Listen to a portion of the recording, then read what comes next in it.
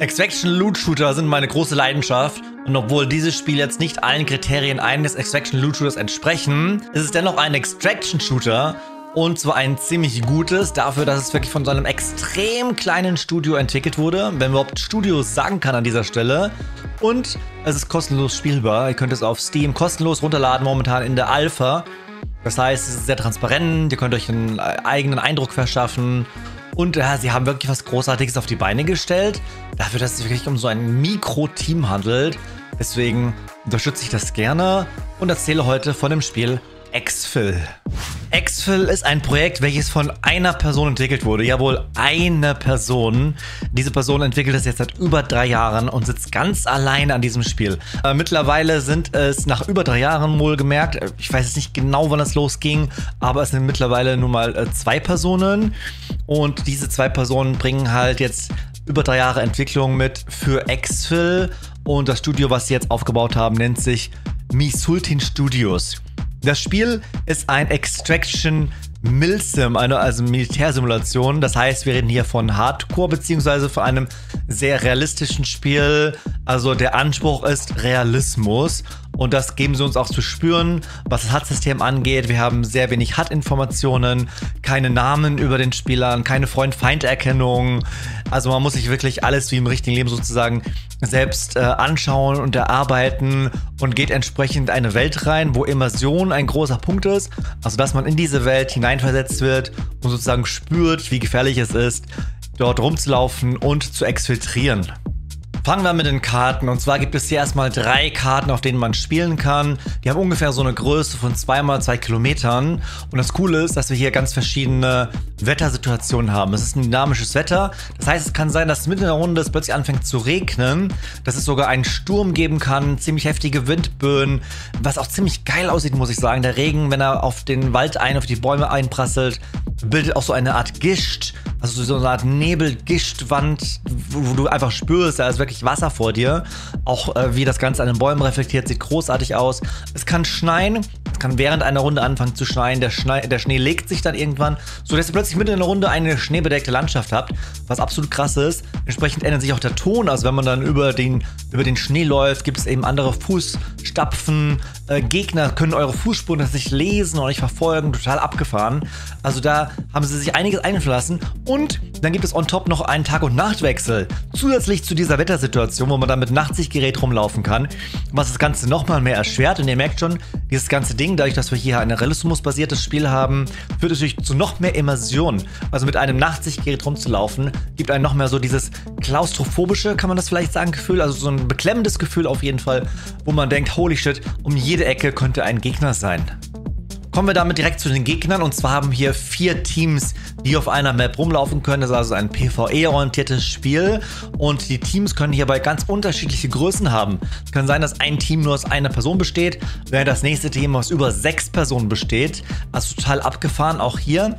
In der Regel ist es natürlich so, dass die Teams ein bisschen ausgleichen, sodass man gleiche Größen hat. Aber es ist prinzipiell alles möglich. Und wie gesagt, dadurch, dass es keine Freund-Feind-Erkennung gibt, erkennt man die Gegner eigentlich nur an den Farben. Also sie haben so Farbmarkierungen am Helm, an den Rucksack, an den Seitentaschen und so weiter und so fort. Also wirklich kleine Markierungen, die einem helfen, dann die Teammitglieder zu erkennen. Das heißt, hier ist es besonders wichtig, im Team zu bleiben, zu wissen, wo ist der Kollege und so weiter und so fort. Denn man hat als Hilfe zusätzlich sozusagen nur noch ein GPS-System. Das Coole hier ist aber, dass wir auf diesem GPS-System unsere Kollegen sehen können. Also ähnlich wie bei Call of Duty sehen wir auf der Karte dann kleine Punkte, die dann unsere äh, Teamkameraden repräsentieren. Einen Gegner sehen wir nicht. Also das ist auf jeden Fall eine ganz, ganz große Hilfe und erleichtert das ganze Gameplay doch ungemein. Worum geht es in dem Spiel? Also wir kommen in die Map rein und müssen dann auf dieser Map, es sind übrigens äh, Spawnpunkte, die jetzt auf der Map verteilt sind, vier Spawnpunkte, müssen einen bestimmten Bereich finden auf der Map. Dieser ist erstmal rot markiert. Jetzt ist es so, dass die Teams halt unterschiedlich weit von diesem roten Punkt spawnen können. Kommen wir gleich dazu. Jedenfalls ist dieser Bereich rot markiert und in diesem roten Bereich befindet sich ein abgeschützter Hubschrauber.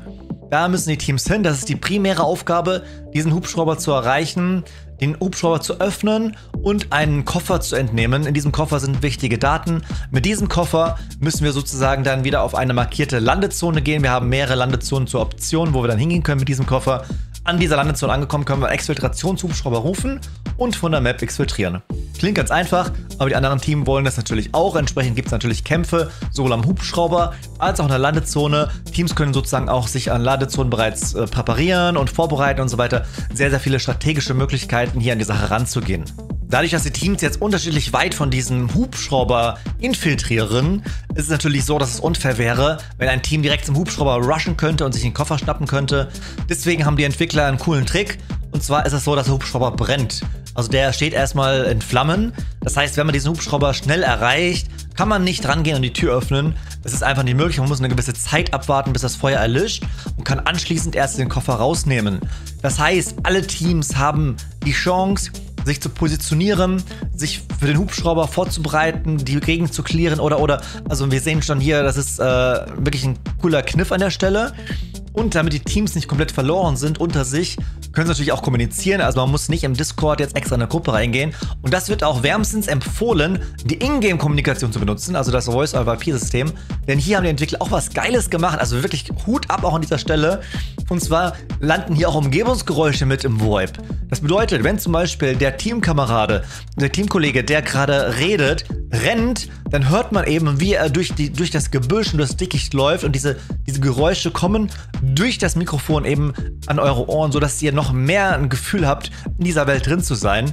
Das trifft für alle Dinge zu. Also wenn der Gegner jetzt über, über oder wenn der Kollege mal nicht über Schnee läuft, durch Büsche rennt und und und.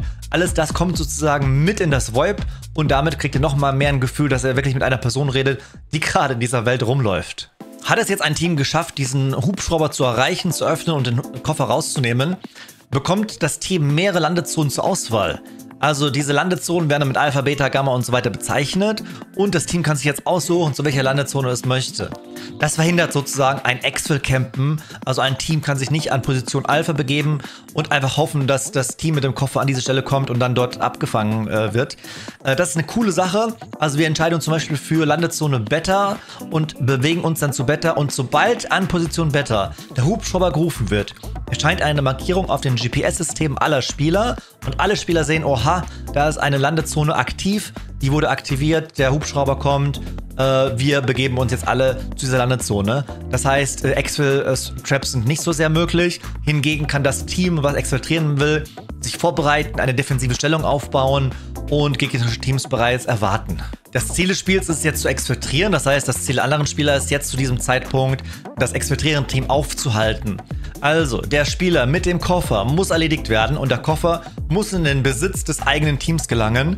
Und dann gibt es die Option, alle weiteren Teammitglieder ebenfalls zu eliminieren und damit die Runde zu beenden. Also wenn alle Teams ausgeschaltet sind, hat man die Runde gewonnen. Oder man versucht eben mit dem erbeuteten Koffer den eigenen Hubschrauber zu rufen und zu exfiltrieren. Auch hier könnte sich jetzt das Team, welches den neuen Koffer bekommt, eine neue Landezone aussuchen. Sie könnten jetzt zum Beispiel zur Landezone Alpha gehen, dort den eigenen Hubschrauber rufen und und und. Also strategisch sehr ausgefeilt. Man sieht, das Prinzip ist im Grunde genommen sehr, sehr einfach, aber es ist sehr, sehr auch, auch schnell zu erlernen. Aber es gibt halt sehr viel Raum für Strategien und für komplexe Spielzüge. Das ist, glaube ich, der eigentliche Reiz des Spiels, die Immersion und das, was man daraus machen kann. Ich persönlich muss sagen, während ich das Spiel gespielt habe, mein persönlicher Eindruck war erstmal Grafik wunderschön, Animation auch sehr schön. Ähm, einige Sachen waren noch ein bisschen hackelig. Wir dürfen nicht vergessen, es ist eine frühe Alpha. Also zum Beispiel Bäume und Büsche, die nicht ganz flüssig mit dem Wind geweht haben, so ein bisschen gezuckelt haben. Ähm, ja, auch äh, einige Bewegungssysteme kamen vielleicht noch so ein bisschen klein vor, wobei ich das Gefühl hatte, dass er schon auf einem wirklich sehr, sehr guten Weg ist. Aber abgesehen davon hatte ich persönlich das größte Problem mit der Freund-Feind-Erkennung. Bei Tarkov ist es natürlich auch so, dass man seine Kollegen nicht erkennt und nicht vom Feind unterscheiden kann.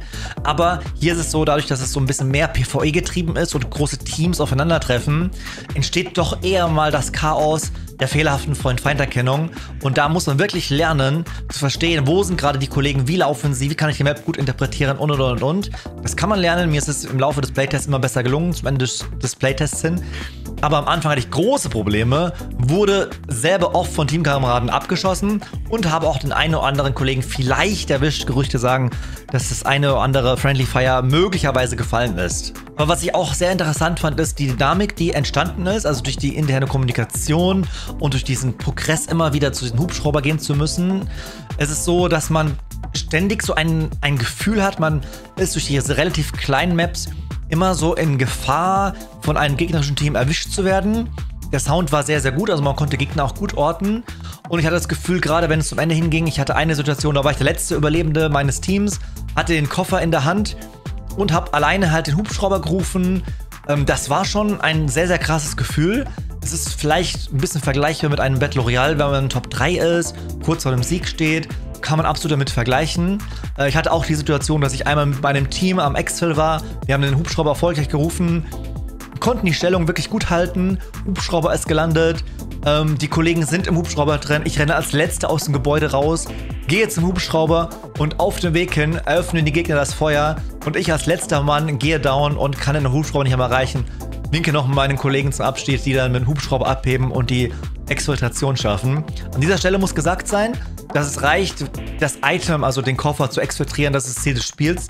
Das heißt, wenn das ganze Team exfiltriert und du selber noch auf der Karte bist, aber ohne ähm, den Koffer, ähm, hast du trotzdem mitgewonnen.